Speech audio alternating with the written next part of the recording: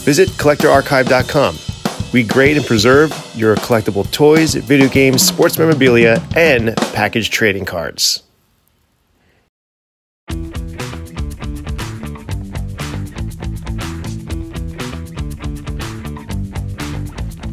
Hey there folks, Jason Packard here coming at you with a very special G.I. Joe product reveal. Today we have the 1993 G.I. Joe Dino Hunter Mission playset.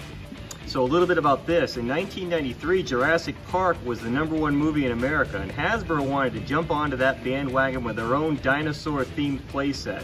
Similar to an action team playset, but something special about this. That's right, this was professionally graded by CAS as a loose, uncirculated toy. So if you remember, we also did the figures from them. We had the ambush and low light action figures that came with that, graded as loose. This is a little bit different. This is everything else. This is the vehicle, which is the Dino Fox, a uh, recolor of the Desert Fox vehicle. All right, with all the loose gear still on the trees, completely untouched. You got your product uh, brochures, the mail order catalog, Lasers of Destruction. All right, unused sticker sheet, perfect crisp white blueprints, and of course the uh, the very infamous Hugosaurus Rex. See, he's so flattered, he's so flattered that you got him something nice for his birthday.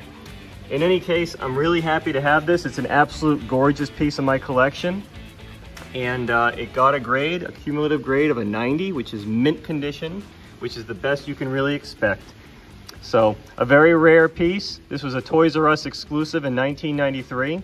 Believe it or not, I actually had one of those when I was just about 11 years old. I got that for Christmas in 1993 and uh, I loved it very much. I left it in the box, left it sealed, and many years later, here we are, graded loose, uncirculated. Absolutely gorgeous.